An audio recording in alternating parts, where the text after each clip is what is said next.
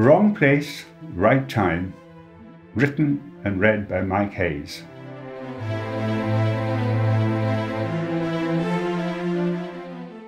New Year's Eve 2018.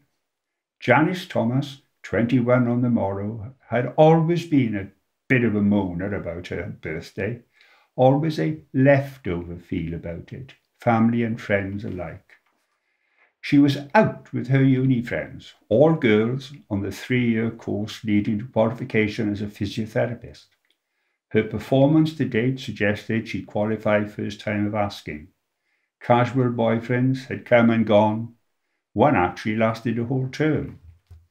As was their custom, they decided to move on somewhere else, locally within walking distance, where there might be some blokes. All very normal, nothing new, their routine. Ladies loo, freshen up the lipstick, bully their individual hairstyles, gather their thoughts. The five barged, elbowed their way through the crowd, mainly male, but with enough females to provide scornful and derisory comment from the little gang of leavers. The party of five had only had two rounds of drinks, and three of them were leaving half full glasses. Janice was one of them. All five knew exactly where they were heading, so there was no follow me stuff. The first three crossed safely to the far side, but Janice, her eyes on her disappearing friends, just did not see the black car to her right. The driver had seen her and did everything he could to avoid hitting her. The near side wheel arch caught Janice's right leg a glancing blow. The car stopped, both front doors flung open, and two young men rushed to her side. It was impossible to count the number of phones already in hand, most probably dialing 999. But it worked. Within minutes, blue lights and sirens filled the road where Janice lay surrounded by friends and the two men from the car. Bystanders turned traffic wardens guided the traffic along the other lane. Janice was conscious, crying, My leg, my leg hurts. The car passenger, under the watchful eye of the driver, was doing his best to make her more comfortable, covering her as best he could with his jacket. With the arrival of the ambulance, the police gave way a little, cleared the space and let the ambulance staff do their bit. The two men from the car stepped back and were separated by the police. There was no discussion between the ambulance men or with the police. Janice Thomas was carefully lifted onto a stretcher and into the back of the ambulance. The driver and his mate got on board and with siren going, all lights flashing, departed for the city's main hospital. The driver of the car and his companion were ushered into separate police cars and immediately breathalyzed. To the consternation of both police officers, the results were negative. The tests were repeated three times, just in case there was a faulty batch or something. Even in the poor light, the officer's disappointment was obvious to all. A second ambulance arrived and was quickly sent on its way by the now superfluous police constable, but he earned his corn by moving the dwindling numbers of onlookers so that the blue light pickup truck could hoist the car and take it for inspection. The casualty department at County Hospital was already doing a good business with folk of all ages, both genders, who'd come a cropper so typical of too much alcohol and too many people in the same place at the same time. After all, it was New Year's Eve. But the ambulance blue light and advance warning meant Miss Thomas had a welcome party of her own, medical staff spread across a wide range. Physical examination, x ray, a CT scan revealed a fracture of the tibia nothing the orthopedic lot hadn't seen before and didn't have the answer to.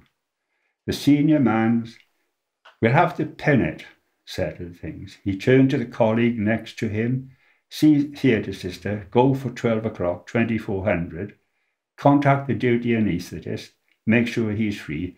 Ring ward sister for a single room bed with hoist. He turned away from the group to leave, but when he got to the door, he turned By the way, get her alcohol levels checked so the gas man can't back out. Before the door swung shut, the next in line was detailing the other jobs, requirements, blood to hematology, next of kin to be informed, weight and height, and more. Nothing new, done it all before. Everything went well. Half an hour in recovery, back to her room, leg in a sling, ward staff fussing all over her as they do. During one of the hourly inspections, the nurse added, Oh, by the way, you had a visitor in theatre, a cardiologist. You've got heart problems, nothing in your records.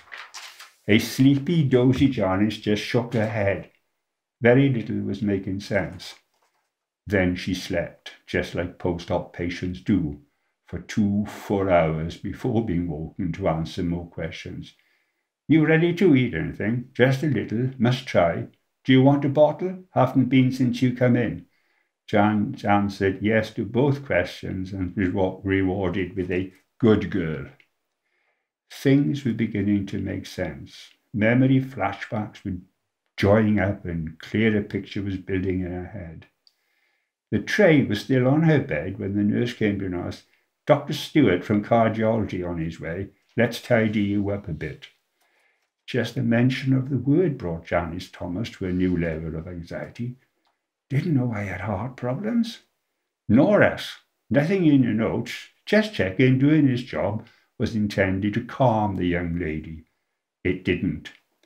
Twenty minutes had elapsed before a youngish, fairly good-looking, white-coated male entered her room, having first whispered to the staff nurse in charge.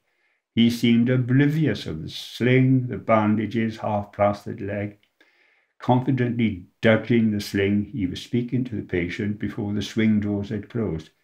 Well, hello there. Stuart Martin, I work here. 'Twas my car that done that. Sorry, I've had a peep at the write-up. Op went well, no complications. Young thing like you'll mend well. Perhaps the plastic boys can do something about the scar if it bothers you. I called last night after the fuzz let me go. Wouldn't believe me. I hadn't been drinking. 'Twas only when they saw the CCT that they accepted my story. Not drunk, not speeding, not distracted, just didn't have time to turn the car sharply enough to avoid you. So sorry, spoilt my record, spoilt your night out. He stopped in mid sentence. It's your birthday today. Note it in your notes. Happy birthday, as much as you can. Janice's mind was trying to process my birthday, yes, hit by his car, not entirely his fault, mine for stepping off the pavement, too close to miss me.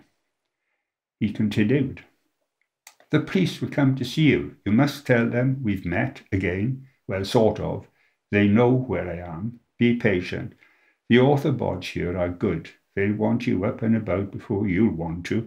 Believe me. Must go, got notes to write up. See you tomorrow.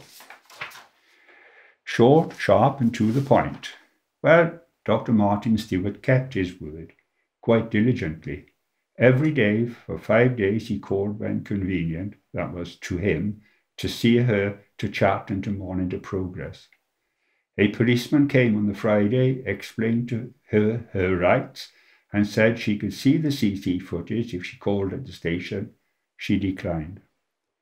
On day four, she was visited bedside by two physiotherapists who were excited, animated about their new charge and challenge. Good for us, somebody young, one of us, see, know the patient's side. Pride made her do as instructed. It hurt, but she, they persevered. Stewart came every day. On the day before her discharge, mindful she was not one of his, he said, on the basis you're not one of my patients, I'd like to take you out to dinner sometime somewhere. Got a number I can call? Are you, you sure? Not all your fault. May as be, but the invite stands. I can collect you, see you safely home. Want you back to uni, be one of us. Her leg improved. Distance learning meant she kept up her studies from home. On her hospital visits to the physio, she stayed on, and learned by helping, observing, listening. She qualified first time of asking and got a junior post at the city's other, much smaller hospital. When they shifts allowed, Martin Stewart were inseparable. Cinema, theatre, walks on the beach came and went. Fertile sex progressed to fulsome, meaningful lovemaking. There was mutual anxiety of meeting respective parents. In June, they holidayed abroad as a couple. In September, they rented a flat together in joint names, and she moved in. New Year's Eve 2019, they spent in. Food leftovers, unfinished glasses of wine, television on, sound turned down. From the kitchen, I think we should get married. Janice, head in a magazine but not reading. Oh, and why is that?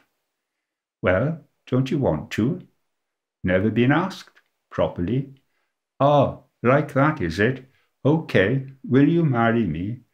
She almost flung herself into his arms. Big Ben chimed midnight and welcomed the new year. Yes, yes, of course, of course. Thought you'd never ask. From his pocket he produced a small brown box. A tear rolled down her cheek.